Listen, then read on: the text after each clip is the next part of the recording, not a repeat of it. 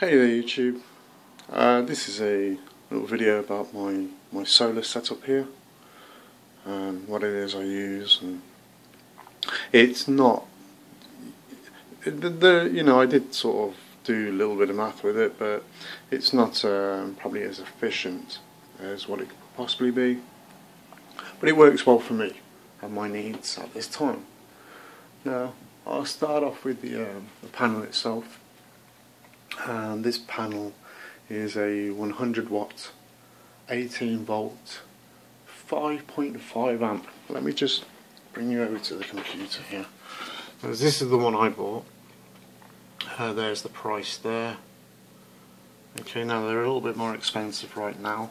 Let me just um, click onto here. And that's that's where it is. And the great thing about these well one of the great things about these panels is. There's the specification there? So it's got an open voltage open uh, circuit voltage of 21.24 volts. Short circuit current amp 6.4 amps. But the uh, voltage output of it really is um, 18 volts. Well you can read that yourself look. Let me just steady my hand so yeah.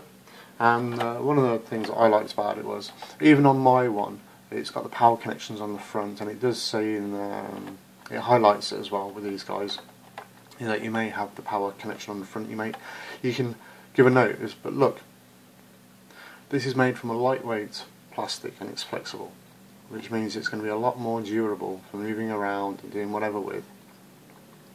And this is how I'd like mine to have been but I bought mine with the image showing the thing on the front. So but I don't mind. I, I can live with it um, and I think somewhere down here it does actually say about that. About the thing being on the front. Uh, there, in this uh, in this writing here, some of the wires, blah blah. You can read that. Yeah, it just says some of the wires in the junction box will be on the front of the solar panel. If you care about this, please note before you buy. So I don't know if that means, just keep in mind that that could be like that. Or whether it means you can actually leave a note with them and say, please can I have more the the fittings on the back.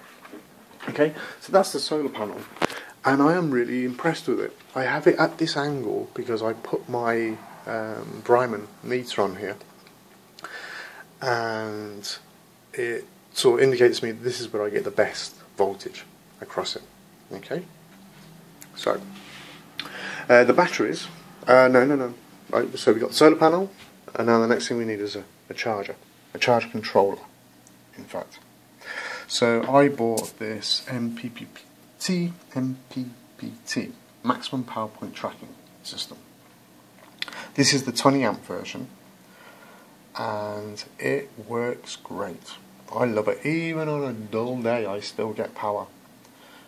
I still get power. Through the winter there was one day where really it wasn't doing anything. One day.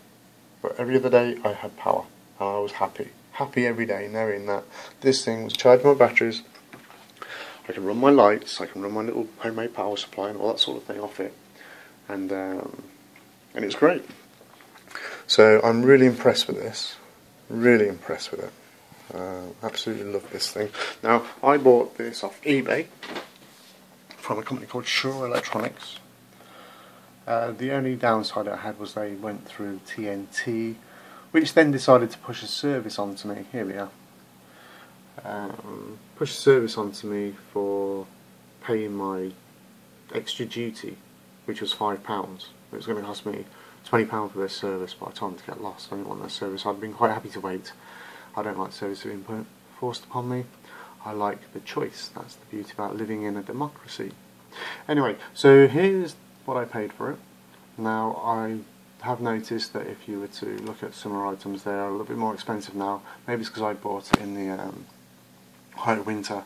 I mean here's one for example, I'm not going to go through trying to find the most bargainous, but this is the same kit as mine, and now it's uh, 118 plus, you know, 9, uh, but you, you can find them bargains, you've got to hunt around, okay, you've got to hunt around, but for the, uh, the thing of this I'm not going to.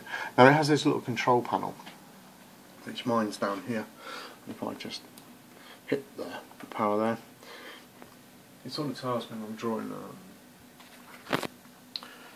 0.2, but that's not quite right. uh, because what it's not taking into account is what's coming in.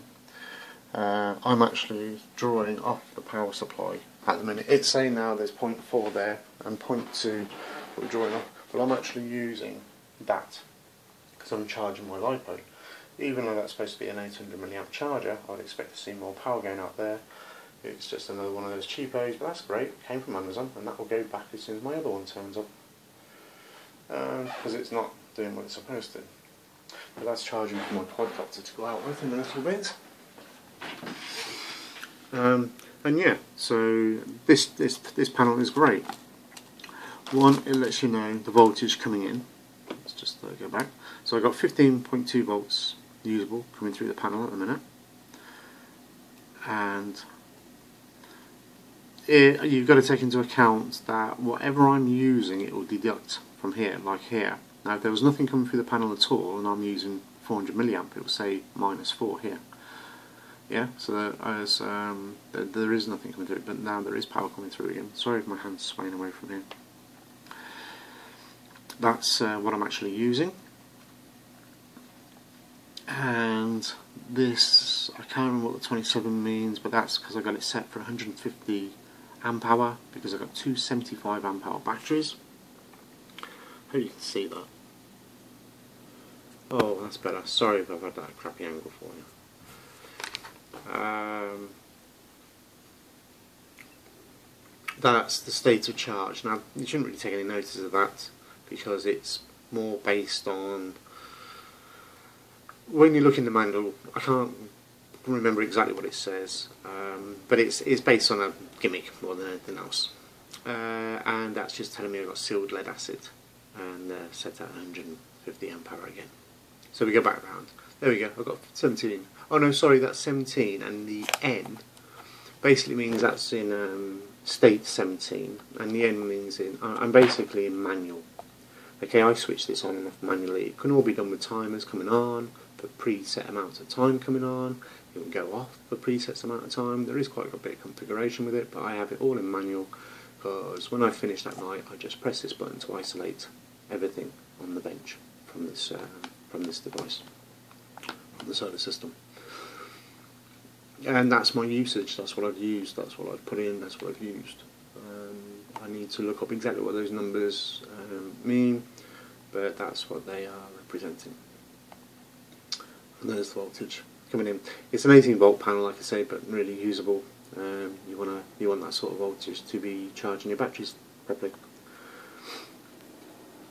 And again, it's because I'm taking out I'm taking out an extra 100 milliamps to what I'm actually putting in. Yeah, I'm taking out 700, so I must be putting in 600 milliamps. Because that changes as the uh, as the battery is changing state as it's charging. So, uh, the batteries. I got them from a chap. They're a little bit more expensive at the moment because I try and get everything on sale. I, I, sort of watch things and try and get things when I've seen them on sale. And I'll even send a message to the seller and say, "Hey, I saw it in sale. Can I have it at that price, please? I'll buy it at that price. I know it's not on sale at the moment, but can I do that?" And you know, uh, quite quite often these these people go for that. So I got these two at the same time because it's good to get your batteries at the same time, um, just so they're both in the same sort of condition and state, so they sort of charge equally and do everything. I read up a little bit about batteries. Not enough maybe to be a wizard, but enough to get me by.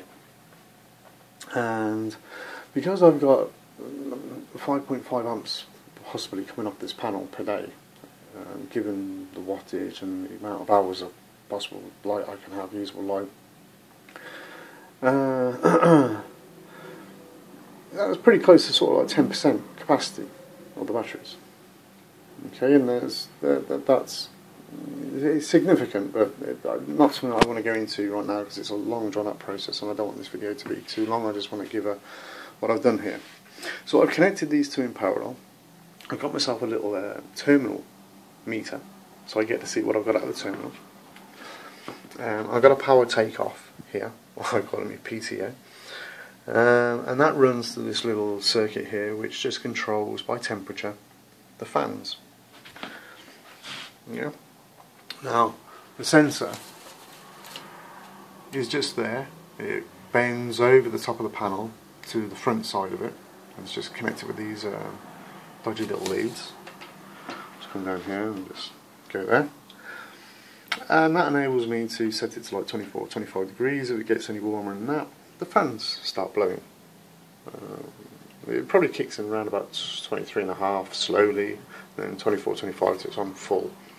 And you know, then the fans are kicking. It's just a, an NTC, and that's all that is, an NTC. And we've got a little bit of way of controlling um, when that triggers by this little circuit. I've done a video on this so you can see what, what that's about. But this is great because it blows air um, up and around here. If I put my hands here when they're blowing, I can feel air coming through here, so I know I've got a circulation through the batteries as well. Uh, this piece of paper is just here just to stop any sort of sunlight from coming on here, just to help again keep the temperature down. Um, but this I am really, really chuffed with. Like I say, really, really happy. And just having that there gives me um, an on-bench indicator. It's next to the uh, the AC one that I have to let me know what's going on on my bench, power-wise through the AC, for all these sockets and whatever. And of course, that um, my solar power can it allows me to have power here. So I've got five volt outputs on both of these, and this is a buck converter, as you can see, and that gives me a variable output there. I don't know what it's set for at the moment. I think it's around about seven volts, um, and that's brilliant. These two are in parallel. Uh, all these connections here for the uh, for the LED lights. I am I've built this this switch box at the minute. The switch box is just for the power supply. It will also be for this because I'm going to convert this from mains to this board which will be my variable input board and give me a constant uh, output here. Um, and these I'm going to use to uh, control LEDs individually or in pairs and then have a couple of extra just for auxiliary. Uh, yeah, so so that's it. That's that, that's the that's the solar setup. Uh, I can't think there's anything else to add. It's all I can say is you know try and get these things for as uh, cheap. The fans are on the go now, beautiful. Uh, try and get them as cheap as you can. Uh, and, and, and that's that's it really. Quite basic, quite simple. I do have an actual modification for this because even though this charge controller has protection, it's got plenty of protection, short circuit protection, it's got all sorts of protection on it. So I'm not really worried. I do have an inline fuse. I do have an in. Oh, here it is. I do have an inline fuse, and I, and I do intend on putting this on and say it's a. Um, I've got a 15 amp fuse in it, but I can put a 20 amp fuse in there, and I'm going to connect this here nice and close, uh, but giving a bit of working room. And if a fuse goes for any reason, this little LED will come on uh, and give me an indication, because nothing working won't be indication enough for me. Dope. Uh, but to be fair, this was the same price as one without the LED, so I just thought, yeah, you know, be posh, get it with the LED even though you'll know on your bench when nothing's working that there's a problem. Uh, but chances are this will do all the protecting first. But it's just good practice, isn't it, to have a fuse. So I shall get around to putting that in. So that's it. That is the solar panel. That is um, that is what we got, and I think it works really well. I'm really chuffed with it. It gives me um, as much power as I wanted through the winter. The light up my LEDs in this little this little room around my workbench. It also um, gives me a takeoff, you know, for um, for my power here. And as I uh, and this this little power supply is great with it, absolutely great. Of course, I only get um, this going into it and a reduction of about two volts for the regulators, but in all fairness, for the little circuits that I play around with, it's great, absolutely great. And it's set up for 30 volt input really with the resistors and everything that's in there. I haven't compensated it because I've not really found the need to yet. And if I do need a bit more power, voltage coming off it, I uh, I just connect this because this will work from 10 volts. So yeah, it's all good. Anyway, cheers for watching, guys. I hope you found this, you know, interesting. Whatever. Uh, give me questions if you've got any questions about it. That's not a problem. And I will end up tidying this up and getting it fitted into the back of this switch box uh, using these cables here. I just haven't really got round to it yet, but I, I am going to get onto it. I am going to get onto it. Got 101 things to do, including, you know, uh, going and playing with things like these quadcopters now. So, speak to you next time. Bye.